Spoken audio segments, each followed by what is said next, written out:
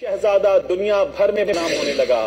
Saudi शहजादा Majid bin Abdullah जुए में 350 मिलियन डॉलर और पाँच बीवियाँ हार गया। अहम खबर आपको दे रहे हैं। माह सयाम में सऊदी शहजादा दुनिया भर में बदनाम हो रहा है।